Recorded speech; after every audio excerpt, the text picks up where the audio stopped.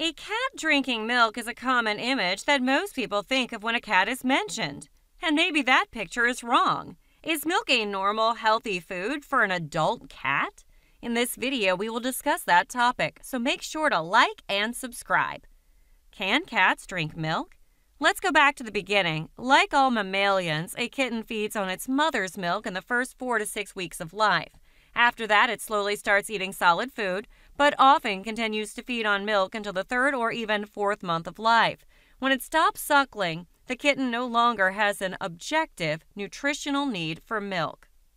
Depending on whether your cat is an adult or only a few months old, you could know whether you need to give her milk. If you give your cat milk, she will drink it but later she will have stomach problems and problems with gas and diarrhea.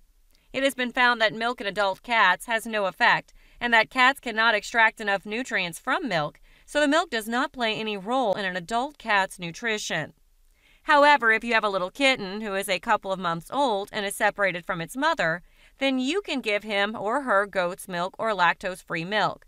That way, the kitten will be provided with an adequate replacement for mother's milk, of course, we advise you to consult a veterinarian who will give you other supplements that will provide adequate nutrition to the kitten.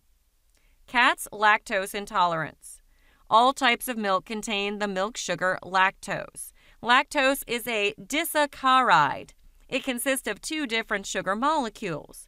To start the process of its digestion, the enzyme lactase must separate these two sugars, and this naturally happens only with kittens.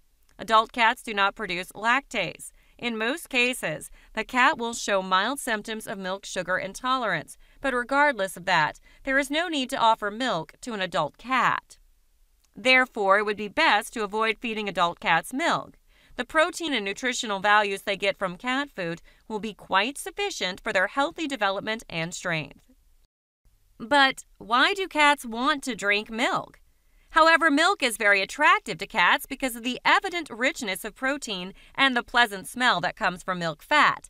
If the cat is very persistent, you do not notice that she shows symptoms of intolerance, you can give her some of the fermented products in small quantities. A spoonful of two yogurts, cheese, a piece of cheddar cheese. They all have lactose but have started to break down. Yogurt, or less percentage of lactose than fresh milk, 1 to 3% compared to 4.8 to 5.2% lactose in fresh milk.